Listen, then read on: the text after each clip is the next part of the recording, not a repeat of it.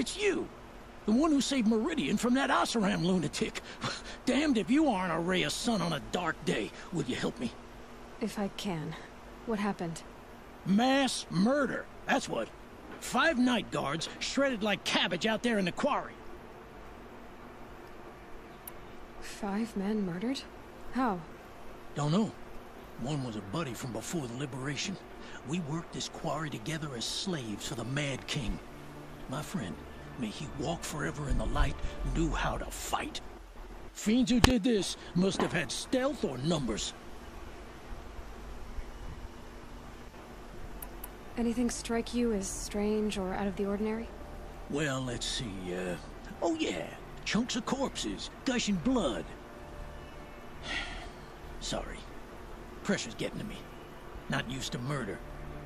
Nah, nothing unusual. Well, except we've been doing a little blasting lately. And Saravad said, no, that's just stupid. What exactly did Saravad say? Ah, nothing. Kept babbling about a pile of rocks out there. Said he didn't remember it from yesterday. I told him that this here is a quarry, where we move rocks all day. So rocks getting moved ain't so surprising, lunkhead. You've been using explosives?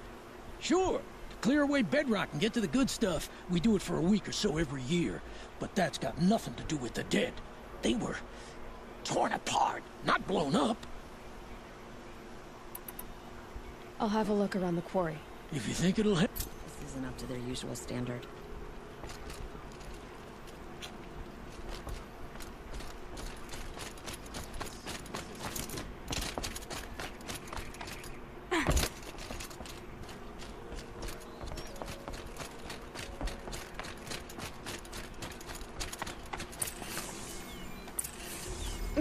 Scrapes.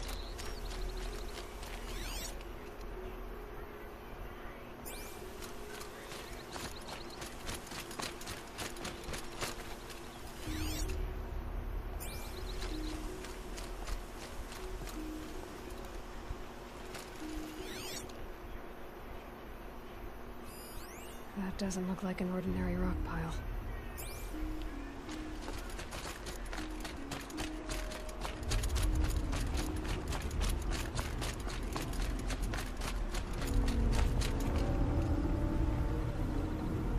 Strange. Where did this mound come from?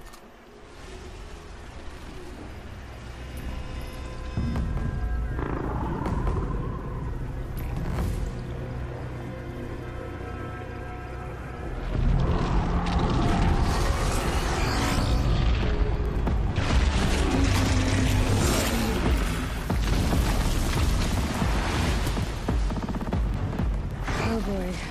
You're a big one, aren't you?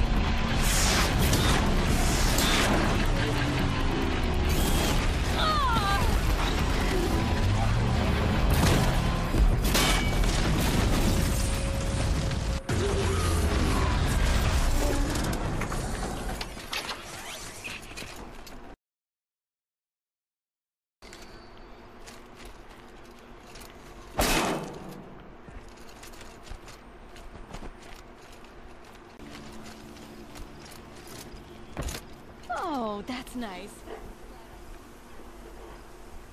I've never seen a machine like that. Whoa! Nor a hunter so bold. Take this. It's from the quarry stores, but no one's gonna argue that you don't deserve it. May you walk in the light, friend. Especially when dealing with what comes up from the ground.